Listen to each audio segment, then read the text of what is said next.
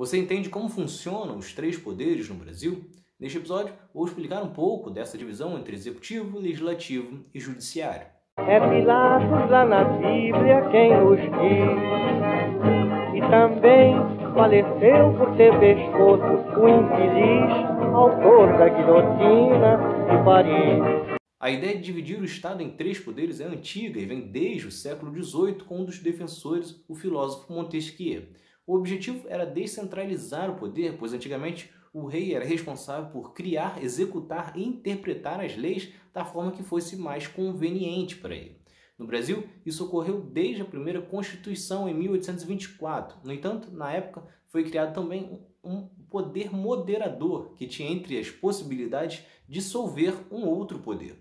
Este foi extinto apenas na Constituição de 1891, já na República. Ainda assim, tivemos algumas mudanças, como nos regimes ditatoriais de 37 a 45 e 64 a 85, quando o executivo ganhou superpoderes, se sobrepondo ao legislativo e ao judiciário. Atualmente, na nova república, os poderes seguem divididos em executivo, legislativo e judiciário. O executivo, presidente, governadores e prefeitos, é o responsável por executar as leis. Ele pode interferir no legislativo enviando propostas de orçamentos e finanças, elaborar leis e criar medidas provisórias.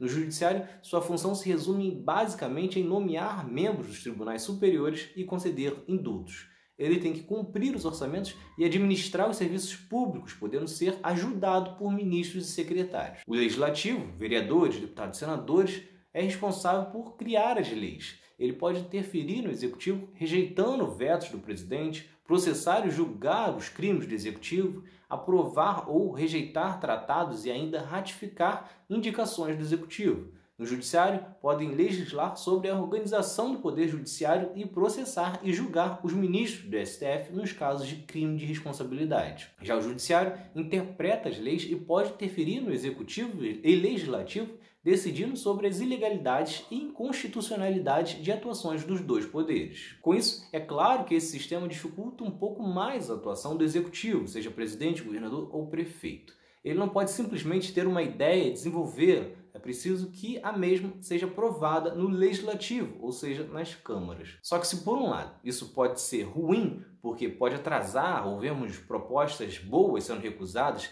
isso é bom também porque pode se evitar uma ideia desastrosa avançando. O fato é que torna fundamental um bom entendimento entre o presidente e os deputados, senadores, ou o governador e os deputados, os vereadores e prefeitos. É importante diálogo e apoio. Desta forma, é fundamental também que quando você votar em alguém para o executivo, vote também em um membro do mesmo partido, ou pelo menos alinhado politicamente com ele, para o posto no legislativo. O Brasil atualmente tem um grande problema de eleger muitos políticos do famoso centrão, que são partidos que não são exatamente fiéis à esquerda e nem à direita, embora estejam um pouco mais alinhados à direita. Só que por não seguirem nenhuma ideologia e nem terem prioridades econômicas e políticas nem sociais, esses estão no Congresso simplesmente esperando ver quem ainda mais, para então decidir se vota favorável ou contrário ao executivo ou à oposição.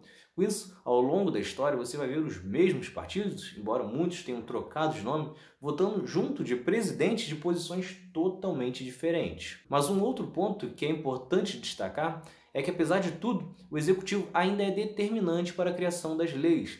Isso porque, além dele ter o poder do veto, as leis propostas pelo presidente, governador ou prefeito são enviadas para o legislativo em caráter de urgência, ou seja, precisam ser analisadas. Com isso, no Brasil, cerca de 80% das leis aprovadas costumam ser propostas pelo Executivo. Isso acontece porque as leis propostas no Legislativo precisam ainda passar por uma série de aprovações e ainda guardar uma longa fila até ser finalizada. O Executivo ainda tem o poder de editar medidas provisórias. Estas são leis que entram em vigor imediatamente assim que forem publicadas. No entanto, o Congresso tem que aprová-la em 120 dias. Caso contrário, perde o efeito e uma nova similar não poderá mais ser publicada. A Câmara dos Deputados tem 513 assentos e são distribuídos pelos estados proporcionalmente à população. No entanto, nenhum estado pode ter menos que 8 deputados e nenhum mais do que 70.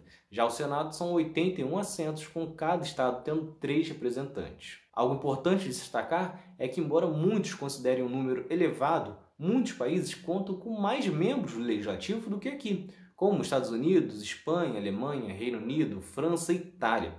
Esses últimos dois, inclusive, possuem mais de 900 legisladores, ou seja, o problema aqui está mais relacionado mesmo à qualidade do que à quantidade. No Brasil, o legislativo funciona em sistema de bicameralismo, que significa uma divisão em duas casas. A Câmara dos Deputados, que é a que representa o povo, ou seja, que em tese deveria propor leis e projetos para atender às reivindicações e necessidades da população, e já o Senado representaria os estados, tendo foco maior na avaliação de impostos e gastos públicos, tendo que se distanciar um pouco do que pensa o povo. Já nas assembleias legislativas são definidas que sejam três deputados estaduais para cada deputado federal. Nas câmaras municipais também são definidos de acordo com a população, sendo que nenhum município pode ter menos que nove vereadores e nenhum mais do que 55. Já o judiciário possui uma estrutura mais complexa, com muitos tribunais são escolhidos via concurso ou por indicação do presidente, como no caso do STF. A função do judiciário é basicamente julgar se a conduta das pessoas ou propostas feitas estejam seguindo de acordo com o que diz a Constituição ou as leis já criadas. Cabe ao judiciário também encerrar temas que possuem múltiplas interpretações do próprio judiciário. Cabe ao STF, por exemplo, bater o martelo em um posicionamento único e que será seguido por todos. Um ponto importante é que o judiciário só se manifesta em casos que é solicitado em uma ação ou processo. Então é isso. Se vocês gostaram, se inscrevam, ativem as notificações e continuem acompanhando. Tem mais outro lado da história por aí. Valeu!